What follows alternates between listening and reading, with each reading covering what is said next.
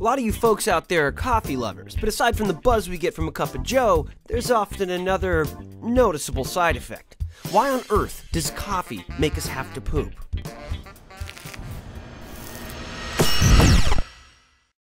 So it's widely understood that coffee has a laxative effect on some people. What's not so clear is why.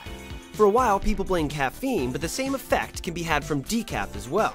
Not to mention, people don't commonly have this sort of response to energy drinks or sodas, so what else is going on in a cup of joe? When you drink coffee, its acidic nature has an effect on your stomach.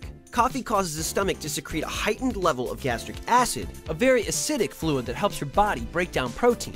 Coffee also contains a compound called chlorogenic acid that increases stomach acid levels. This boost in acidity can cause the stomach to dump its content more quickly into the intestines. This could be one of many contributing factors.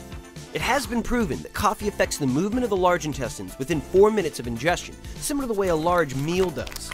There are nearly 1,000 different compounds found inside a cup of coffee, and while scientists can be certain that at least one of these is the culprit, they still aren't quite sure which triggers the digestive call to arms. On the other hand, they do have a sense of what the mystery chemical or chemicals are actually doing once inside your guts. The body produces these two hormones to help digest food. The consumption of coffee, decaf or not, has been shown to increase the levels of these compounds produced in our bodies, enhancing their general effects.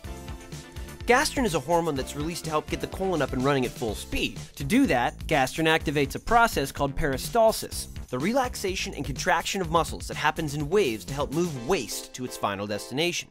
Cholecystokinin also causes the release of digestive enzymes and bile, which help regulate the process of pooping. By the way, this pooping effect has been shown to only occur in about three tenths of the population, so consider yourself special if you're one of those three. So, We've kind of got an answer, but like many things in the scientific world, we need more time and more science to get the story straight.